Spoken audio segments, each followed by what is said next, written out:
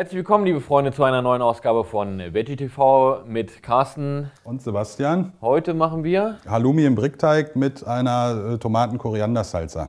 Welche Zutaten brauchen wir denn? Einmal den Halloumi natürlich, hier den Brickteig, so ein ganz feiner Strudelteig, Tomaten, Koriander, ein bisschen Zucker brauchen wir und natürlich zum Würzen Salz und Gemüsebrühe. Dann fangen wir am besten erstmal an, den Käse zu schneiden. Ich habe übrigens die Chilis noch vergessen. Ist ja eine süß-scharfe Salsa. Und erstmal schneiden wir es hier in der Mitte durch und machen dann 1 cm dicke Scheiben davon. Die Würfel, die müssten wir jetzt alle einpacken in den Teig.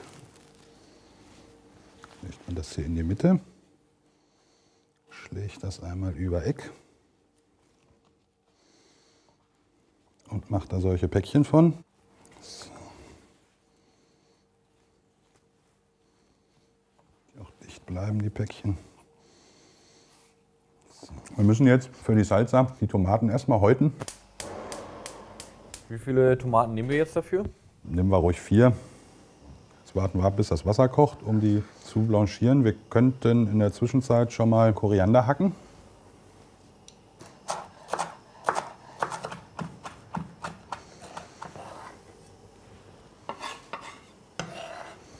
Die Chilis können wir auch gleich noch schneiden. Wir nehmen dann jeweils. Dann nehmen wir jetzt auch einfach mal zwei für, damit es ein bisschen schärfer Mühle. ist. So, dann können wir jetzt die Tomaten überbrühen, damit wir sie dann häuten können.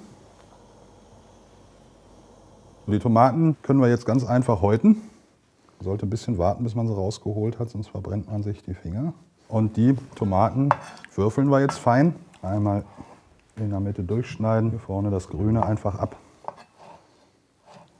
Während wir hier Tomaten schneiden, könntet ihr oben den Kanal abonnieren, damit ihr immer auf dem Laufenden seid. Das kann dann hier alles rein. Wir müssen jetzt eigentlich nur noch abschmecken, bisschen würzen. Einmal mit Salz, Gemüsebrühe. Auch so eine Prise oder wie viel nehmen wir da? Einfach so ein Prise, das hier wird jetzt ein Teelöffel vielleicht gewesen sein. Ein bisschen voll noch ein bisschen Rohrzucker. Dann mischen wir das Ganze einmal durch. Unsere Salsa ist ja jetzt auch fertig. Jetzt können wir die Halloumi-Päckchen anbraten oder frittieren. Und gibt hier richtig ordentlich Olivenöl rein. Das lassen wir jetzt schön heiß werden. So, ich glaube, das Öl ist jetzt heiß genug.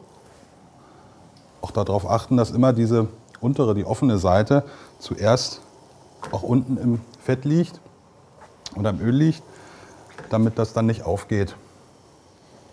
Ja, der sieht schon gut aus. Zum Abtropfen kann man das dann erstmal auf Küchentuch legen. Gut, und jetzt können wir das Ganze anrichten.